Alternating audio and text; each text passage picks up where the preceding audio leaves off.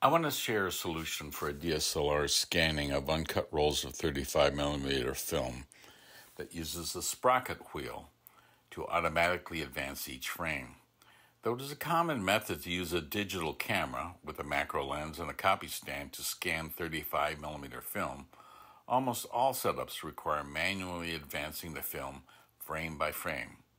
This works fine but if you have a lot of full length rolls to do, and I had over a hundred, this can be very tedious and error prone.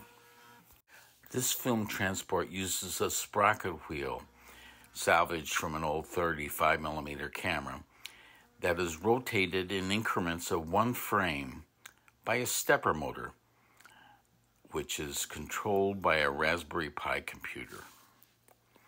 This solution would not work well for 35 millimeter films that have already been cut into four to six exposure strips because you need a few frames of leader to thread the film onto the sprocket drive.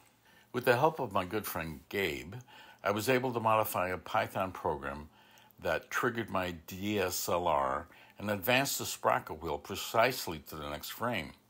As the program writes each scan to a thumb drive, it names each image with a roll number and the actual frame number from the film.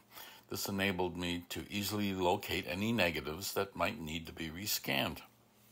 I scanned over 130 rolls with this setup. Then I made Photoshop actions to automate the post processing. The actions cropped and inverted the negative images. Finally, I used Lightroom to organize the scans and add metadata for the actual image dates. I hope you find this useful. I have posted more details below.